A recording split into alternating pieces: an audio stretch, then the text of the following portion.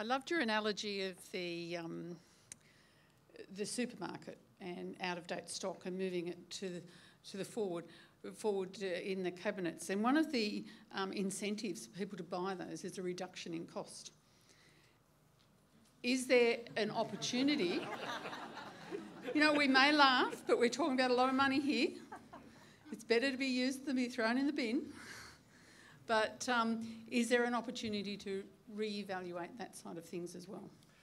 Look, it, it's certainly something that has been raised before, um, generally by braver people than I. Um, look, it, it is something that we are we are looking at. We look at all options and all the different options.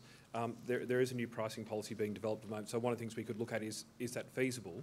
Um, it would require a lot more work from the blood service, so we'd have to balance that off with the benefit of extra work on them when they they least can afford it potentially at night compared to how do we minimise wastage. So it's something we are looking at, but I don't, I can't say that we'd be able to give you an answer today or tomorrow.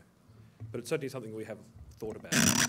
Just a question for the questioner. Who's going to determine what age of blood the patient should receive then? You know, because uh, are we going to we're going to take that advice from somebody trying to save some shekels on the ward, or take some actual clinical advice on, on this? Well, um, similar to the question, you know, the answer to the question, there's a lot of work that needs to go into it, a lot Yeah. of thinking that needs to go into it, and that obviously is an ethical dilemma that we would all face. Um, but, you know, the, the ethical dilemma against wastage is still something that we need to address as well. So Hmm. it, it, it's part of the mix, it's part of the bigger solution, um, and it's not up to just me to decide how we will do that. Um, I have to agree with Peter, though. It would be really difficult to administer in a big laboratory. A challenge for next year. Yeah.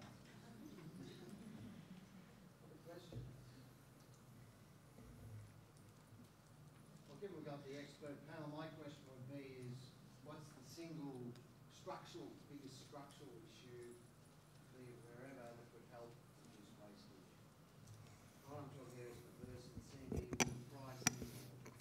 I think, can I, I'll just start. I, I think information would be really helpful. We're not part of BloodNet really at, at the moment because Cerner hasn't been linked in. I believe it's coming, but it hasn't been linked in yet. And if we wanted to use the information for BloodNet, we'd have to do double data entry.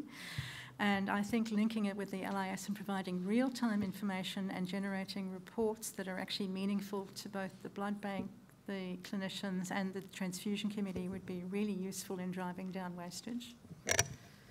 Last time I asked that sort of question.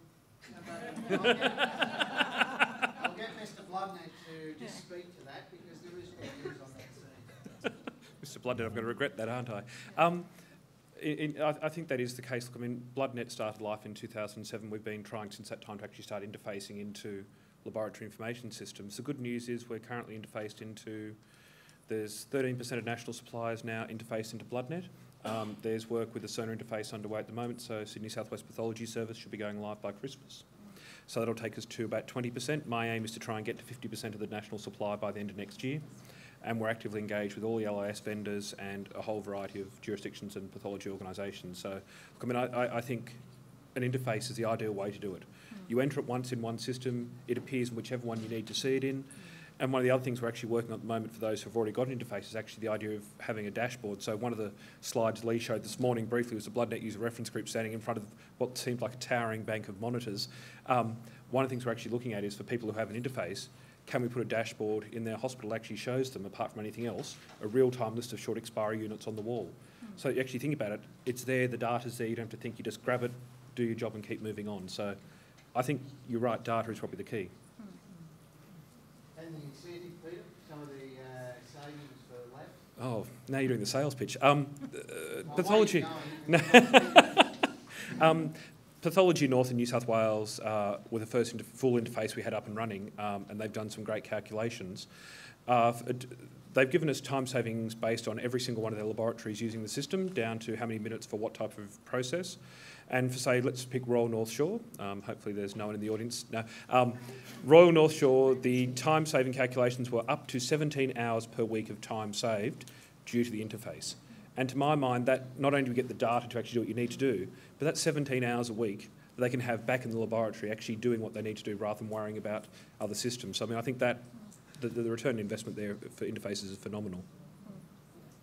Any other questions? Mark?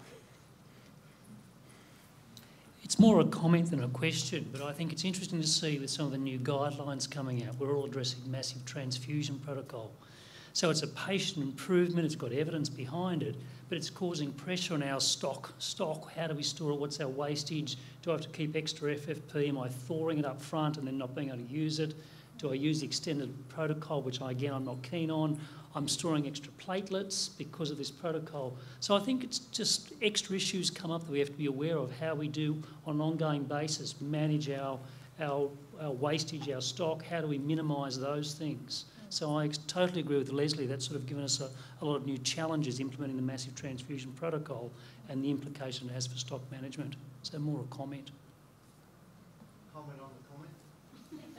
I